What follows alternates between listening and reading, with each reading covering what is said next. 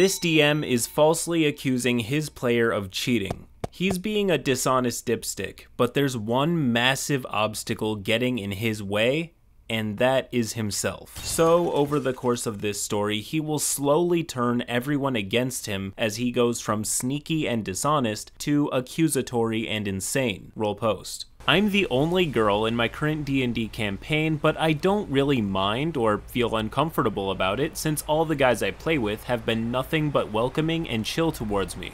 My only grievance is that the DM has made comments since I started playing with them about how every, quote, female he has played with before always lies about their dice rolls so that they can, quote, impress all the guys and look better and hotter in their eyes. Which is a super weird thing to bring up, in my opinion. I had just started and had shown no signs of lying about anything, so I was already kinda weirded out by the fact that he felt the need to bring it up, but whatever. I kinda just brushed it off, said that I'd played before, and that I don't fake dice rolls because that ruins the experience and the risk of the game, and my actions, which ruins the game for me and everybody else. DM seemed to accept that and let it go at the time. However, I have noticed that at least once per session, he'll make some comment somewhere along the lines of how, quote, Females just lie all the time. It's what they're biologically good at, and they all lie in games like this to look sexy to the men there. No one at the table really responds when he makes these comments.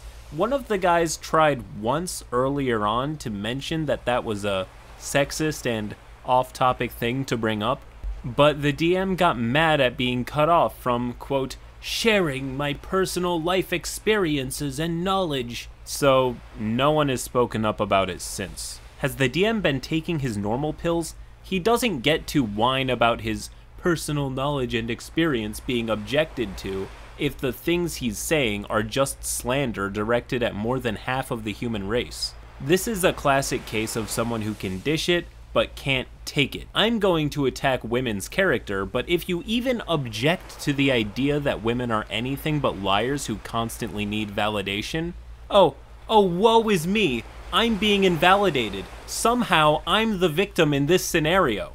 Make that make sense. This nonsensical double standard mindset will stain everything that he does moving forward. Even more interesting is that we'll get to see his villain origin story before long, but I'm not to spoil that. Roll post. The last session was probably the most risky and dangerous situation the party has been in since the start of the campaign, and there were a few times where I had to roll and lives were on the line if I failed.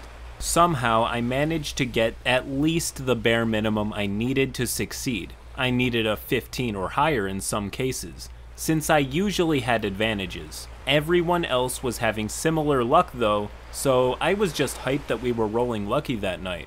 I did also have plenty of horrible rolls, so it wasn't as if I was only rolling successes the whole session. But the DM seemed to be getting frustrated more and more with each successful roll I announced. He made a comment that I thought at the time was a joke. He chuckled and said, It was almost like I was faking it to win with how good my luck was. I had been rolling in front of me where everyone could see though, so nothing was hidden. I didn't think there was any concern that I was cheating, so I just laughed and said that, yeah, my luck was wild tonight. Then, at the end of the session, the DM said that I had one more save roll to get us out of there, avoiding another fight that would probably end badly for us. I needed a nat 20 or I would fail, one of my party members assisted, so I had advantage, but the odds of success were still low. I rolled both dice, and by some miracle I did it. I rolled a nat 20 both times. It was glorious and everyone was super hyped. The DM just looked mad though. We all joked that he wanted us to fail so he could show off some more characters he made and do more of the fun combat stuff.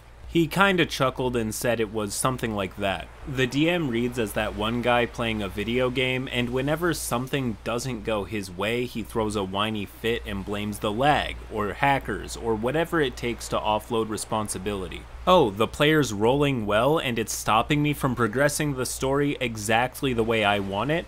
Well, hmm, the player is obviously cheating because nobody has ever had good luck before. I will say the probability of rolling two nat 20s is simultaneously very rare, but it's also a common shared experience among veteran D&D players. That's because it's always memorable and the probability is like 1 in 400 so it's far from impossible. If you play D&D long enough, it's practically guaranteed to happen. Anyways, even if that wasn't true, the DM is about to confront OP and his accusation is about to fall flat on its face in just a moment. The session then ended calmly with us getting back to our keep and getting set up to rest. Then we called it a night. Everyone packed up and we went our separate ways, assuming that was the end for the night. I got a message two hours later from the DM, and he was telling me he knows I cheated and lied about my dice rolls just to look better in front of the guys. He said he was nice enough to not call me out there and embarrass me in front of everyone like he should have,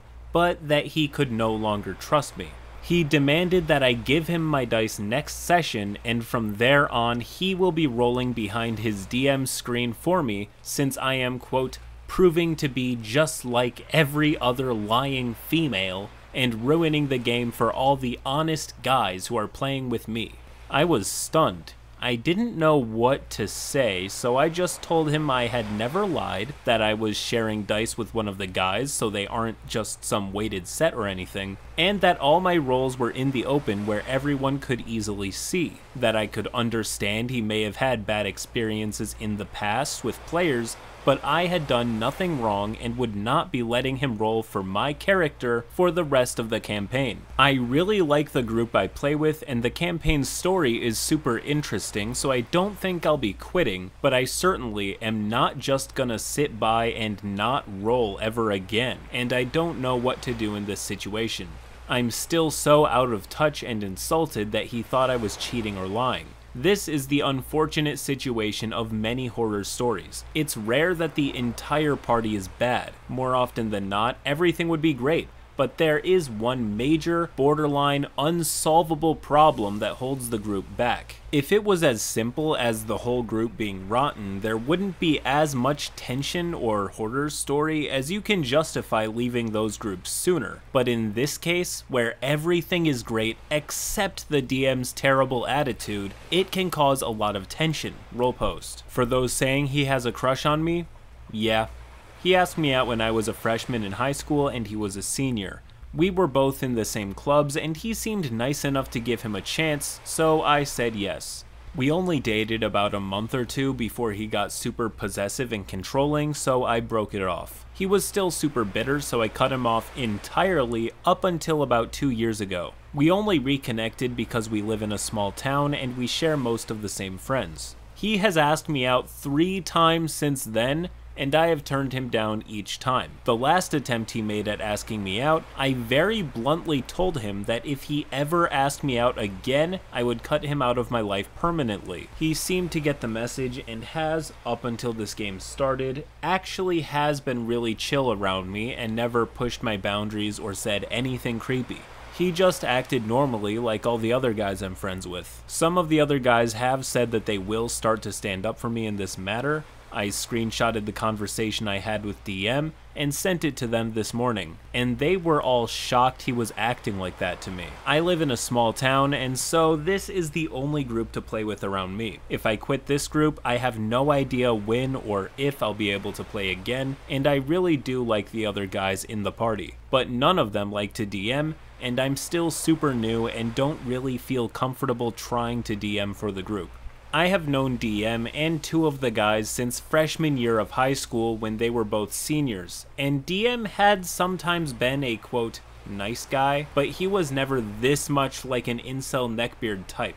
So this behavior was surprising to us, which is why I think they only spoke up once and were just kind of confused about it after that. We're about to get into his villain backstory, but I'm not a confrontational guy. I don't like starting arguments because the chance that I actually change someone's mind is much lower than the chance of me rolling two nat 20s. But this is completely different. This is a scenario where challenging the DM's viewpoint is a good idea, but that's because we're not trying to change his mind. It's because he's outright attacking someone who did nothing wrong. So bashing his views will show her that people are not just silently agreeing with the DM.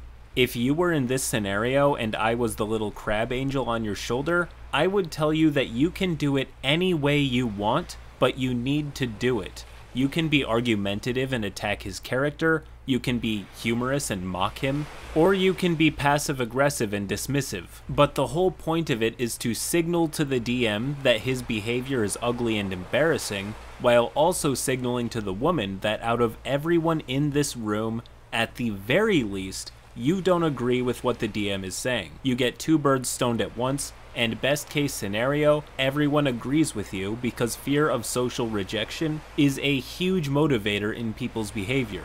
If someone says something unbearably cringe, like the DM tends to do, just calling it what it is can go surprisingly far. It's not a silver bullet, but it helps. Unfortunately, it goes both ways. Fear of social rejection also keeps people in bad friend groups, communities, and abusive relationships. It's an unfortunately easy part of human behavior to manipulate. OP is now considering leaving the game, but does she?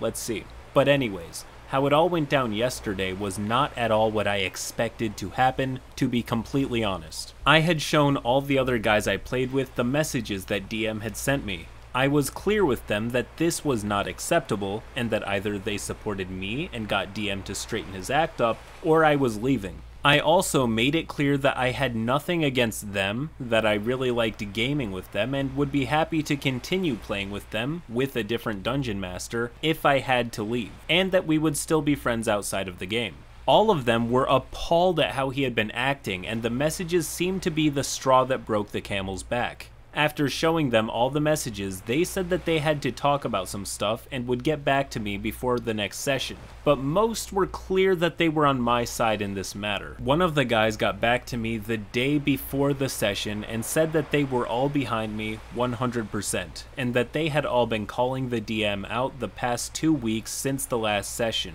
I guess they were demanding he shape up and explain where this mindset came from and why he was acting like such an ass. Well, I decided that since I had support from the rest of the group, I would go back for this session, but if he made a single comment, I was leaving then and there, just walking out. When I got to the place where we were all meeting at, DM asked us to sit down and he was sounding really uncomfortable and he wouldn't look anyone in the eye. He said that he wanted to talk to us, but we had to sit down first. Well, he went on to tell us about his past three girlfriends. Oh, You thought his villain backstory was about dating OP? Plot twist, and welcome to the weirdest story beat in this entire tale. One of the girls he had dated for two months before saying she was a lesbian and leaving. The second girlfriend cheated on him with someone else from one of his classes, and the third one, which he says was the breaking point for him, asked to join a game he was DMing for at his college and ended up hitting it off with one of the guys there, and they broke up. He showed us screenshots of the conversations they had leading up to and after each breakup, and honestly, I can see why the guy was pretty crushed about it all. It sucks big time to be cheated on. We did know that he had been in those relationships, and I knew that the one later came out, and that the second one had cheated on him, but no one knew about why the third relationship fell out. He never wanted to talk about it with anyone, and after each relationship, he went through the stages of mourning the relationship, and we did what we could to support him, but he always seemed to bounce back. And if anyone tried to talk to him about it, he was very convincing in telling us that he had been sad for long enough now and that he was doing better and was moving on. So none of us really knew the full stories of everything that went down or how it had actually affected him. I was honest with him that I was sorry he had been through that, and I did empathize with how he was feeling and how he was hurt, but that none of it was an excuse for how he had been treating me or how he had been speaking, that his behavior was still unacceptable and incredibly cruel and hurtful, and it made me feel unsafe to be around him anymore. The other guys at the table backed me up for saying that, as shitty as his situation was, it did not excuse or forgive the way he had been acting. They were clearly behind me, which I will admit, was a huge relief. DM asked what he had to do to get us to stay, and one of the guys said that the main issue would be earning my trust back, and that it was up to me to decide what that meant. And that aside from that, the guys had lost trust in the DM and his ability to be fair to all the players at the table, and that he would have to earn their trust back as well as their respect for him as a friend. The DM then told me that he had known he was wrong to act and speak like that, and that he had been angry and spiteful because of his past experiences and because he was hurt when I turned him down each time he asked me out between his past relationships and after his last girlfriend broke up with him. He said he was taking his anger out on me and venting because it was easy to blame me for it. I'll admit, I had fully expected him to go nuclear and yell or something when I showed up for the session. I was not prepared for this. We didn't end up having a session that night. The DM said he would leave for now and let me think on if or how he could gain all of our trust back. So the DM left, and the other guys and I honestly didn't know what to do about it. I don't know what to tell the DM for how he can earn my trust and the trust of the other players. I don't know if he can even earn that trust back with me. I have a lot to think about for now. I'm considering telling him that therapy is a good first step for gaining my trust back. He has always had some really bad anger issues and some other personal things that I believe therapy could help him work through. And with all this new stuff, my belief that he could use a good therapist is even stronger now. He has always been kind of put off by the idea of therapy, though, and I remember he was clear he thought it was dumb when I got therapy back during my senior year for some traumas I had been through. But I don't know, maybe this whole situation could be what finally makes him see that he can't do it on his own. He already seems to be realizing that his quote coping methods are only going to lead to him losing several of his friendships. This whole post is a trip, Honestly, while I admit therapy is not a one all cure to make you a good person, it's also not up to DM to decide what's best at this point. If his goal is to get their trust back, and that means going to therapy, he just has to decide whether he wants his friends back that much. I want to start peddling more tales of positivity from here out, so if anybody has positive stories about good things happening, r slash crit crab is sitting right there. I'd really love to hear it, and as always, till next time.